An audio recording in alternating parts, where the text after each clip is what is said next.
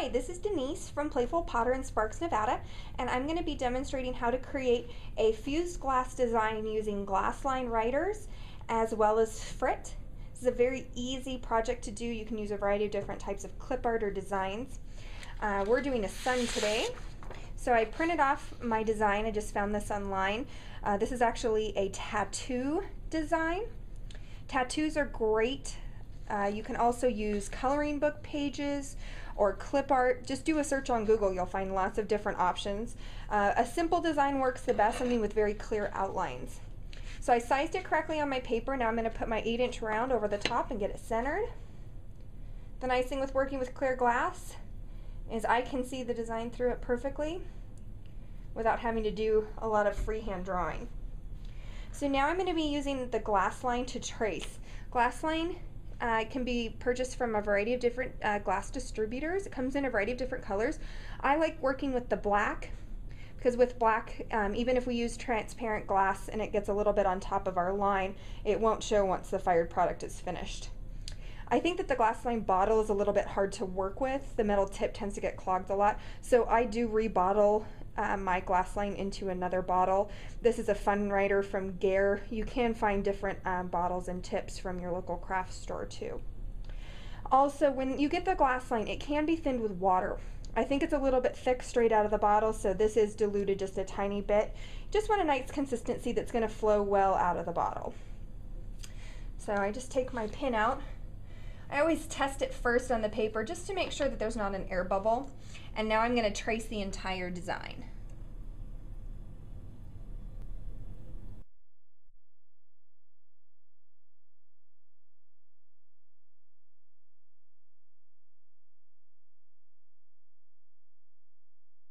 Now that the piece is traced, we're going to allow the Glassline to dry completely and then we'll move on to the next step.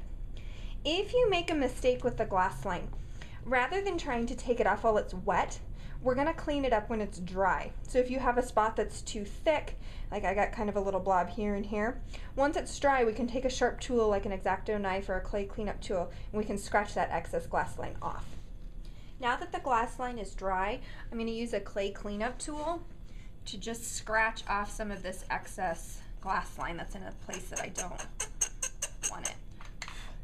You can also use a razor blade, X-Acto knife, anything that's sharp that'll scratch that extra off.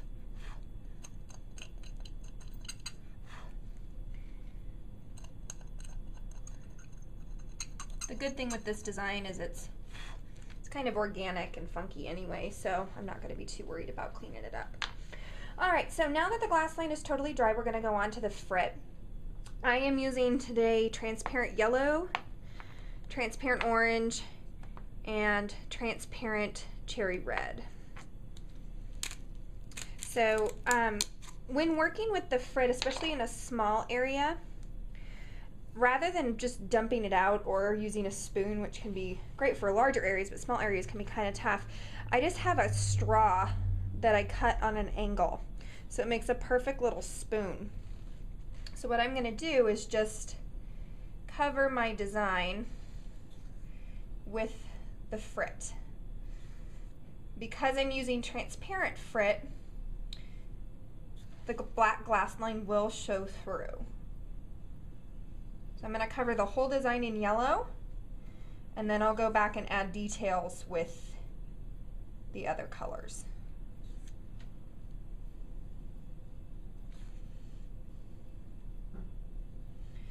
So the center of the design is really easy to do. We don't have to worry too much about getting extra frit outside. When it comes to the edges, what I'm going to do is I'm going to fill in my rays on my sun, and then I'm going to use a paintbrush to scoot any frit back in that goes outside of my lines. You can also just sweep it off onto the paper underneath and then put it back into your container too.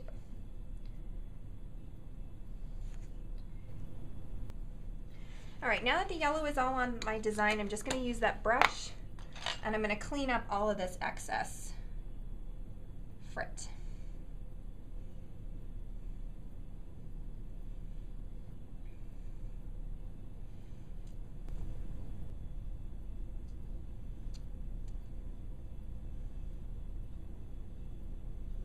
All right, now that we've got all the excess frit cleaned up around the edges, you'll notice that I haven't glued anything down. We're actually not going to be gluing the frit at all. We're going to be setting it with hairspray. So you can set it at this point if you like. If you do set with hairspray now, you just want to make sure that the rest of it is completely dry before you move on to the next step. I'm going to go ahead and do the next step now, which is adding some shading and some other colors, and then we'll set it with the hairspray at the end.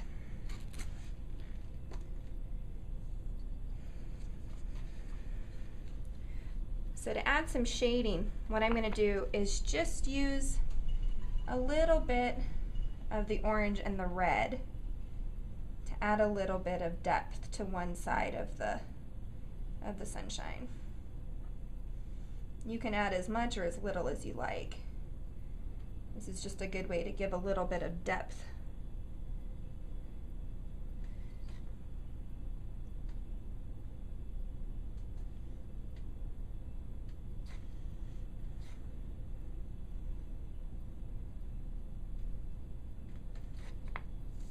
You can even add some to some of the rays if you like.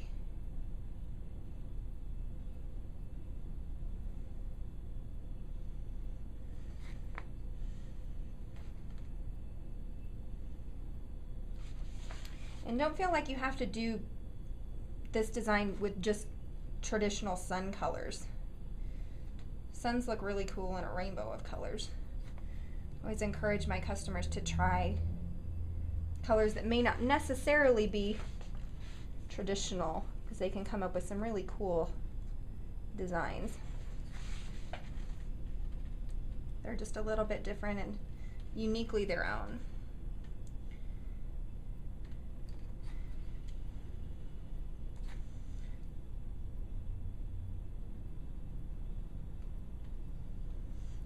So you can see as I'm working with the orange, I've gotten a little bit of it outside we'll just use the exact same technique that we did with the yellow and go back and we'll just move that extra frit off of the glass piece so it won't be there when it's done.